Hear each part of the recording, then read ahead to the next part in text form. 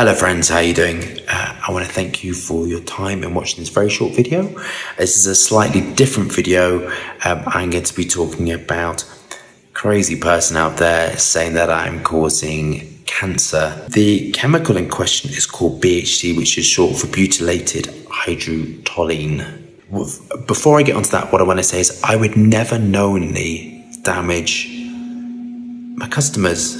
It's just crazy and uh, I would never damage the environment and I would never damage uh, animals or anything like that. That is not what I'm about. My, my brand is built upon my ethics. So I'm going to talk about BHT.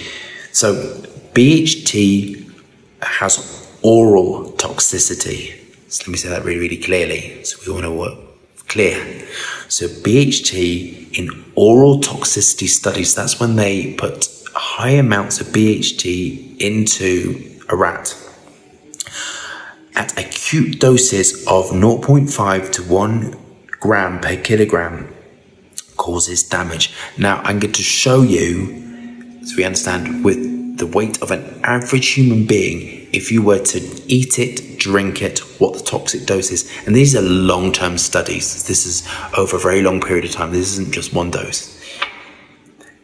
This is ambroxan. So, this amount of BHT taken daily or cause damage. You have to drink it and eat it orally. Through the skin, BHT cannot penetrate into the body, which means it cannot cause cancer, uh, genotoxicity, nothing like that. In this report, which you can go online and you can read, which comes from the um, sort of the chemical regulatory body, they say Recognizing the low concentration at which BHT is used, it is concluded that BHT is safe in cosmetic formulations. One thing I want to say is, we have these raw materials called Lilial, which cause slight amount of sort of dermal irritation, and they are removed. If BHT was toxic, IFRA would remove it straight away and would have to remove it. It is not only me that uses uh, BHT. Louis Vuitton uses BHT. Is that safe? Sauvage uses BHT. Creed uses BHT. Tom Ford use, uses BHT. I'm going to say really clearly if there was that, any slight amount of cancer damage, any sort of damage, how many people apply fragrance daily? How much cancer would we have?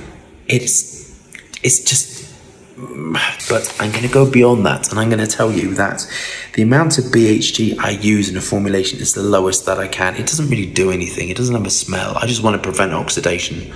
So I use 0.002 grams in a in that's within the formulation.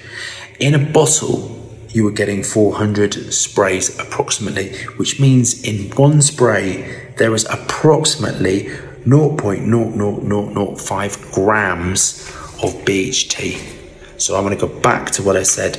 This is the amount to take orally.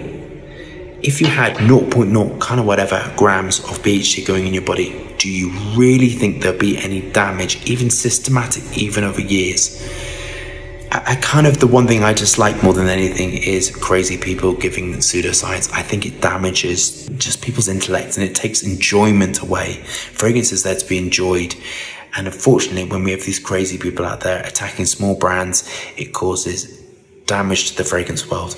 Unfortunately, these fragrance sites won't remove this litigious um, information because they don't really care. These uh, perfumer sites and the frag sites, they don't care about perfumery. They, they just don't care. That's really what I want to say to you is please don't be concerned about the use of BHT within fragrances. It's very, very safe. If at any point it's shown that it causes damage, myself and every other company there will remove BHT from formulations, but it's very safe. So I want to thank you for this very short video. I hope it's cleared up any sort of worry that you may have about my brand and about the fragrance industry in general. And uh, I'm going to wish you a really good evening.